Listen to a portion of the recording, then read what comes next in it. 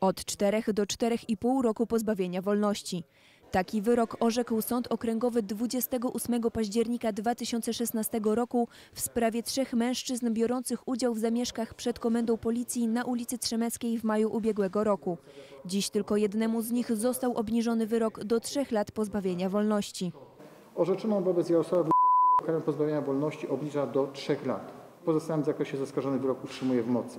Zamieszki przed komendą policji były efektem zatrzymania 25-letniego Igora S., który później zmarł z niewyjaśnionych przyczyn.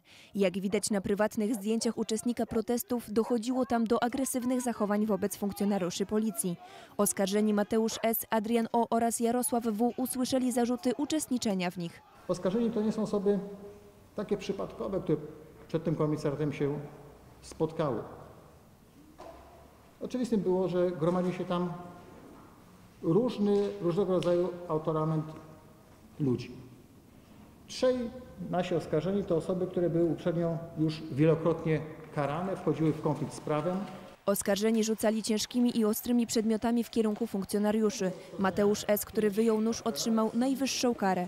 Na ogłoszeniu wyroku sądu drugiej instancji zjawiła się jedynie pełnomocnik Adriana O.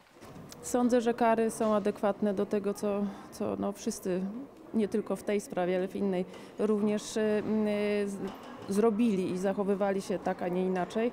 Natomiast y, pewnie chciałam, aby ewentualnie sąd rozważył sytuację mojego klienta i ewentualnie obniżył jej mu wyrok, ale nie zostało to, to zrobione przez sąd. Orzeczenie jest prawomocne. Beata Nowak, Echo 24.